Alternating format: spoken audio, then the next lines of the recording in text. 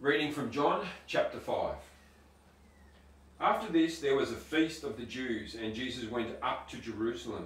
Now, there is in Jerusalem by the sheep gate a pool, which is called in Hebrew Bethesda, having five porches. In those in these lay a great multitude of sick people, blind, lame, paralyzed, waiting for the moving of the water.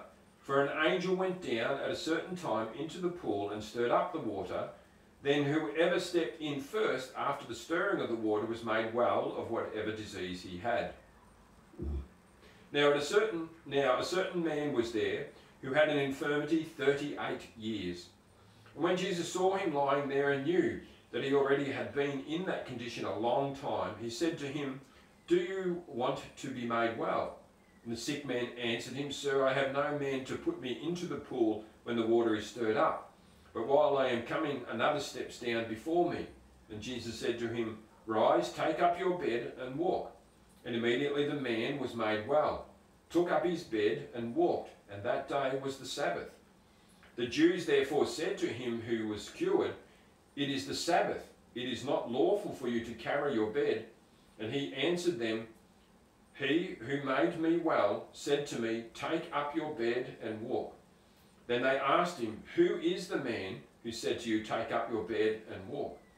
But the one who, was, who has healed me did not know who it was, for Jesus had withdrawn, a multitude being in that place. Afterward Jesus found him in the temple and said to him, See, you have been made well, sin no more, lest the worst thing come upon you. The man departed and told the Jews that it was Jesus who had made him well. For this reason the Jews persecuted Jesus and sought to kill him, because he had done these things on the Sabbath. But Jesus answered them, My Father has been working until now, and I have been working.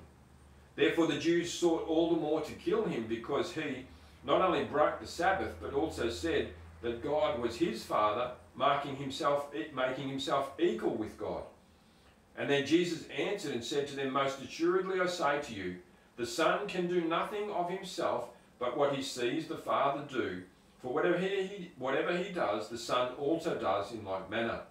For the Father loves the Son and shows him all things that he himself does, and he will show him greater works than these, that you may marvel.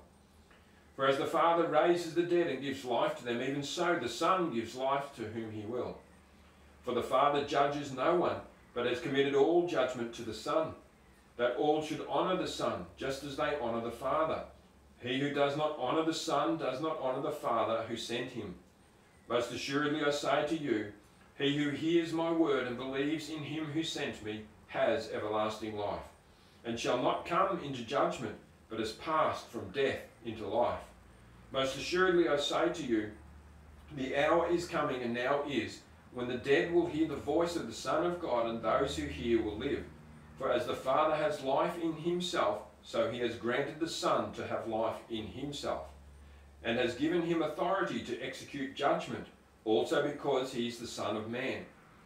Do not marvel at this, for the hour is coming in which all who are in the graves will hear his voice and come forth. Those who have done good to the resurrection of life, and those who have done evil to the resurrection of condemnation. I can of myself do nothing. As I hear, I judge, and my judgment is righteous, because I do not seek my own will, but the will of the Father who sent me. If I bear witness of myself, my witness is not true. There is another who bears witness of me, and I know that his witness, which he witnesses of me, is true. You have sent to John, and he has borne witness of the truth.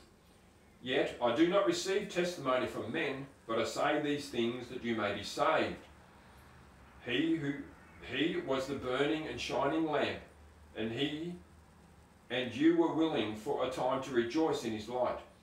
But I have a greater witness than John's, for the works which the Father has given me to finish, the very works that I do bear witness of me, that the Father has sent me, and the Father himself who sent me has testified of me. You have neither heard his voice at any time nor seen his form. But you do not have his word abiding in you, because whom he sent, him you do not believe.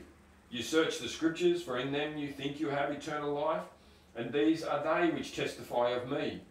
but you are not willing to come to me that you may have life. I do not receive honour from men, but I know you, that you do not have the love of God in you.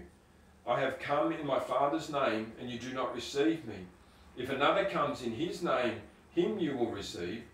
How can you believe, who receive honour from one another, and do not seek the honour that comes from the only God? Do not think that I shall accuse you to the Father. There is one who accuses you, Moses, in whom you trust. For if you believed Moses, you would believe me, for he wrote about me. But if you do not believe in his writings, how will you believe my words? In this chapter, Jesus healed a lame man, another miracle. See, God is doing all that he can to reveal himself to us, and we have the record. The religious leaders at that time couldn't accept him as Messiah because they had power and control and influence over the people that they didn't want to lose. And they were losing that control to Jesus because people were coming to believe in Jesus. Remember, these are eyewitness accounts. These people saw Jesus perform these miracles. And when Jesus said, I have come from the Father, and he was testifying of himself, he gave them four witnesses to rely upon. He said, You have the witness of John the Baptist who came before him. You have the witness of the works that Jesus does. That's all the miracles. And as we read on, he, he turned water into wine, he raised people from the dead, he healed people of their sicknesses, he walked on water, he commanded weather. But the ultimate miracle that Jesus performed was that he, when he died on the cross, he rose again in three days. So you have the witness of John, the witness of his miraculous works, and then the witness of God, his Father, and the witness of Scripture. Remember, in the Old Testament, there is prophecies, like hundreds and hundreds of prophecies that tell us about where Jesus would be born, how he would live, where he would die, how he'd be crucified. Jesus fulfilled all those prophecies. So Jesus is doing, God is doing all that he can to show us that Jesus is the Messiah, the Christ. And whoever, and it says, whoever believes in him shall have life. The point of Jesus coming into the world is that those who have faith and trust in Jesus, believe in him and put their trust in him, Jesus shall give you the gift of eternal life, the hope of the resurrection and the glory. That's chapter 5.